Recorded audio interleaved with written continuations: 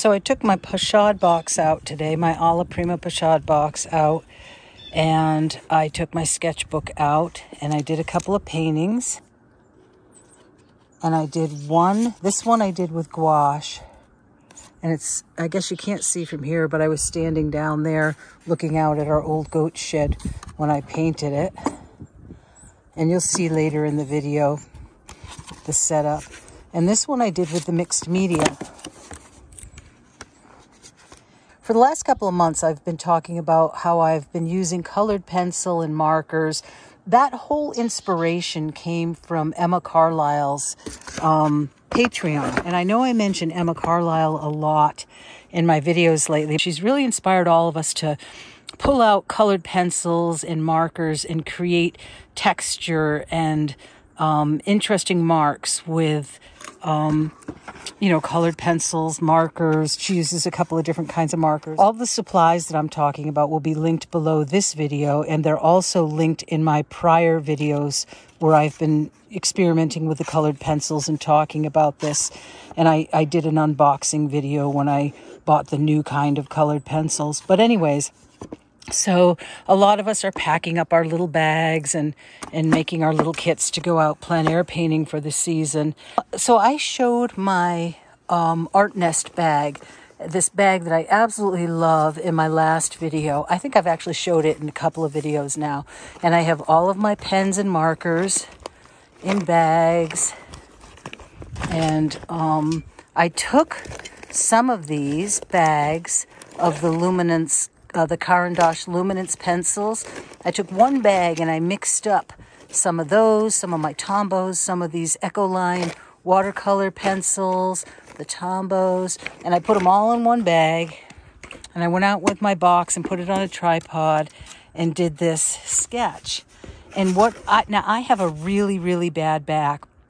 So what I figured out was that this was really taxing on my body to stand with a Pochade box and do the mixed media landscape. I actually didn't like the way it came out at first, but now that I've had time to sit with it, I do really like it. It's it's kind of energetic in its marks. Uh, got an energy to it that you wouldn't be able to get with paints. But it was hard on my body because it that's a lot, a lot of coloring and sketching and mark making. So the second one I did was this gouache painting. The gouache painting was so much easier to do to just lay down the paint in bold, you know, bold brush strokes. I used a large brush, but it definitely doesn't have the same energy as the other one. So as much as I love using my art nest when I'm not feeling good, like I've talked about in the videos, or when I'm sitting in my husband's watching TV in the evening, um, I don't care for them for plein air painting, I suppose, unless I had uh, like a picnic table to sit at. If I was sitting at a table and I had all that space outside. But for standing with a Pochade box, I felt this was taxing on my body. So, anyways, it was a fun experiment and it was a beautiful, beautiful day to be outside. You probably can't hear it on the video, but the frogs down at the pond are singing like crazy. And it's just like one of those early, beautiful spring days. So as you'll see later in the video, I um, my cat was down there with me and I found a tick on her. And I actually had, I was dressed in um, clothes that are were coated by insect shield, so they had tick repellent on them.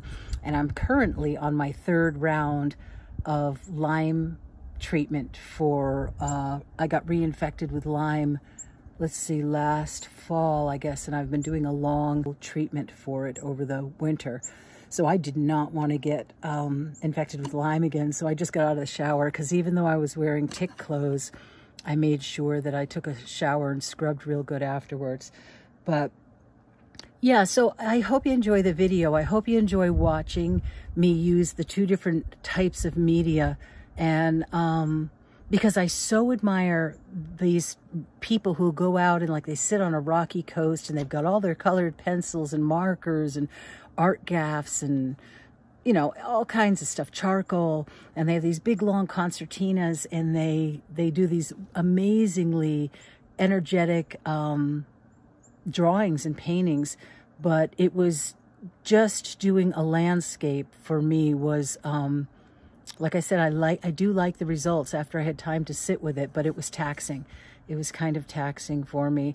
And the gouache just felt so much easier. I mean, I know, like Emma Carlisle said once, I believe she said something like it was easier for her to use the markers and the pencils because she's an illustrator and she's, that's who she is. That's what her training was in, was the drawing and um, illustrating. And she thought, felt it was harder to paint. So everybody's experience is going to be different. That's why I thought it'd be fun to show both, show me doing both. One that I'm really uncomfortable with and not used to, and then the gouache painting on with a pochade box, which that's just me in my element. I love that. I just feel so comfortable standing there, um, putting big brush marks of paint onto the, onto the, um, well, in this case, it was my sketchbook. But so I hope you enjoy the video and um, let me know what if you do plein air painting and if you do what you what you use. Do you know, do you use a pochade box or do you sit at a picnic table? Or, um, yeah, what do you do? What kind of tools do you use? Do you use acrylics or oils or are you comfortable with the mixed media? Okay, so I hope you enjoy the video. It's a gorgeous spring day and I'm setting up my Belly River Alla Prima Pochade box so that I can play around with some of these new art materials that I've been experimenting with. A little shelf stores in that back. You can actually store panels back there, but since I like to work in sketchbooks, I store other stuff back in this pocket.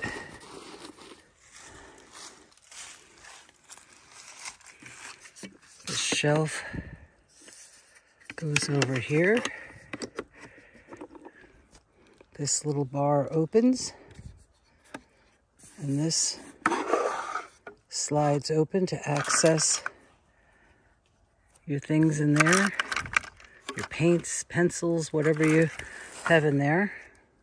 And then you also have this little shelf. I have my water container there. And my backpack, which just flopped over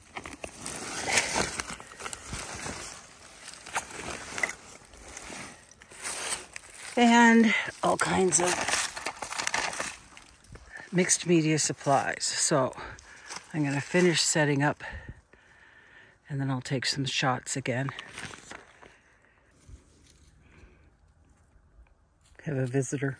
Hi, Mouser. Come say hi? Mouse, mouse.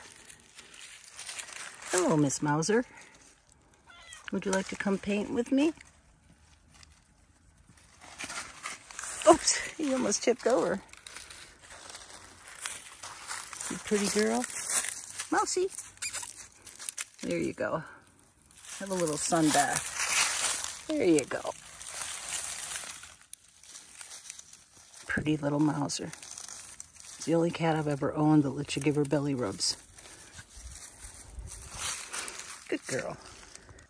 So you might think that this box is too small for a mixed media artist.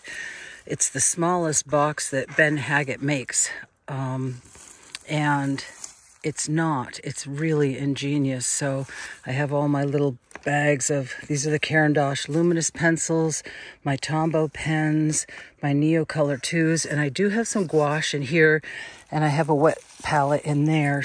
But at first, I think I'm just going to work with the pencils and the pens and see how I make out. I'd like to I'd like to push myself to explore more with the pens and the pencils before I turn to the paint because the paint is what I'm used to.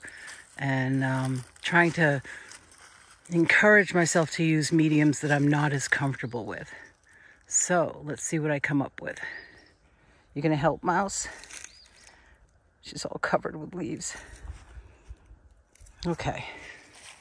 I give artists who work this way a lot of credit because I find it so much trickier to work with the mixed media than to paint in plein air. There's just so many more moving pieces to the mixed media part. But And also, because these are new supplies to me, I'm not that familiar with the colors yet. So I have to keep testing the colors. And I'm used to using them on like Moleskine paper. And this actually is a much higher quality sketchbook, and I didn't think about that. So it is um, much more absorbent paper and it's absorbing a lot, much more pigment from the pens and the colors are coming out a lot darker and less transparent than they do on the Moleskine. So that's an unexpected thing, but Mouser's here to be my support cat. Mouse, mouse, Mouser. Hello, sweetie. And come say hi.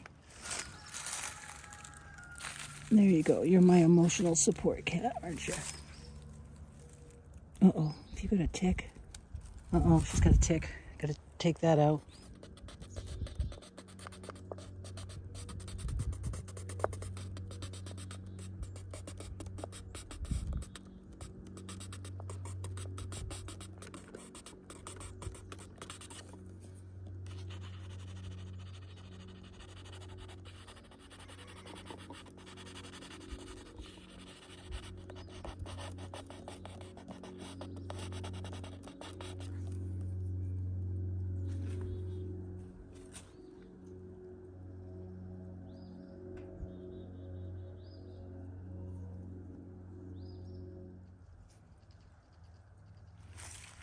Okay, so it was killing me not to get out paints, but I didn't. I stuck with the pens and the markers and the Neo colors, and um, that's what I came up with. So I think if I do do another one today, I am going to use gouache. I don't know how you artists do it that work with mixed media and plein air, but it's tricky. Okay, so there's my mixed media plein air challenge. It was a fun challenge. I was dying to get my paints out the whole time and just start over, but I just let myself stay really loose and use the media that I brought out. And uh, that's what I ended up with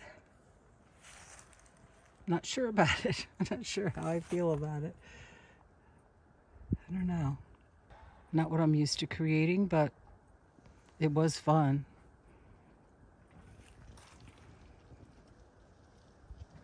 It's our old goat shed over there. Okay. I'll sit with it and see what I think. If I do another version, I'll do it in paint. I brought some acrylic gouache out and I haven't tried that in plein air yet. I'm a little concerned about it because it's so, it dries so fast. It dries way faster than the M Graham regular gouache that I'm used to. So I'll have to see how that goes. I'll just have to put less of it out on my wet palette. And I have the Stay Wet palette. So I'll just have to put less of it out at a time. But that's the mixed media one.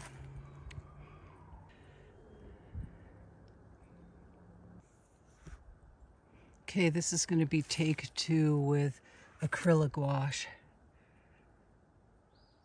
We'll see what happens. It dries so fast, I think I'm going to have to... I do have my Stay Wet palette, as I said, but I think I'm going to have to paint really, really fast because it dries out so fast on the palette. I probably should have brought my M. Graham regular gouache out, but let's see what happens.